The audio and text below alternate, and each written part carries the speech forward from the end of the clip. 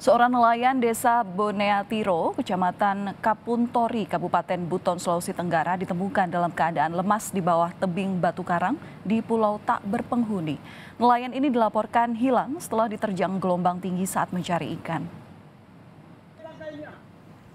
Udah udah pakai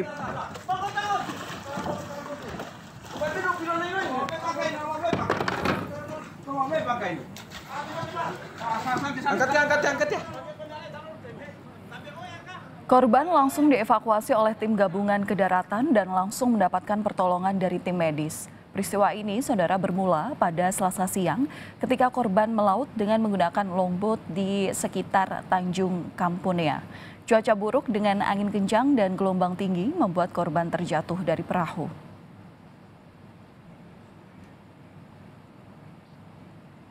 Eh, posisi korban ditemukan itu di darat di Tanjung Kapuntori. Kondisinya kayak gimana?